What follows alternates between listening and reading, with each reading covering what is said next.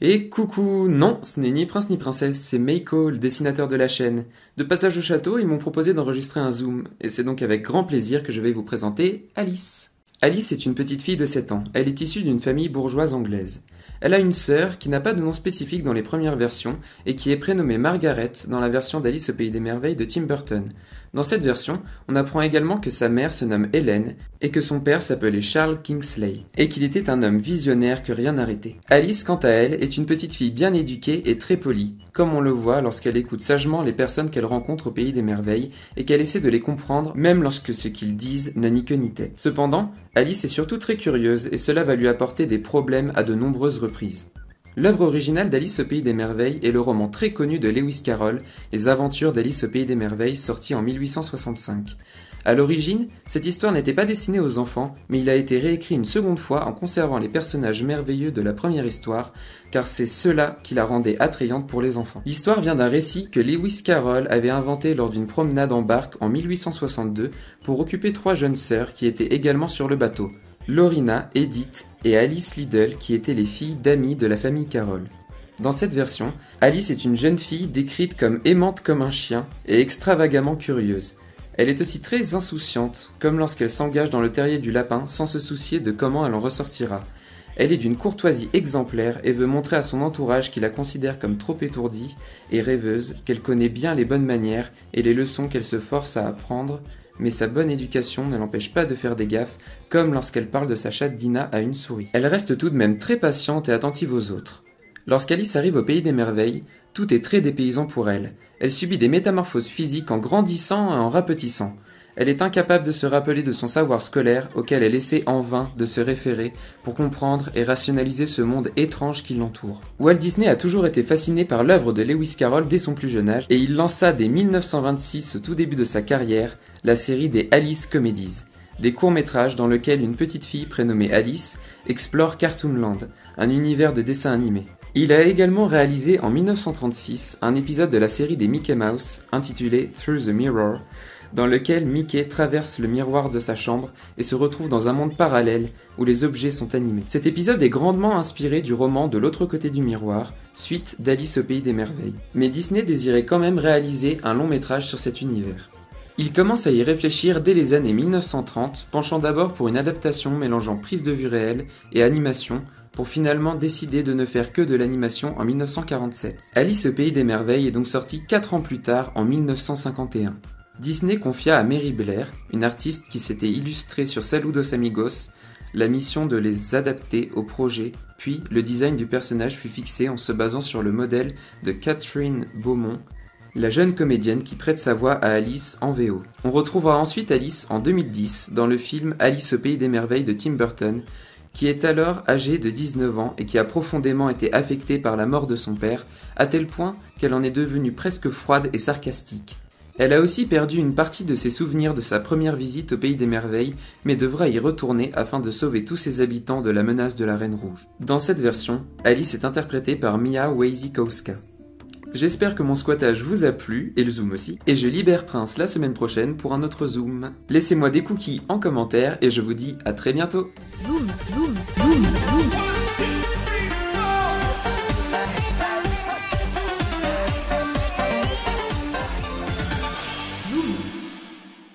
intitulé Through the Mirror.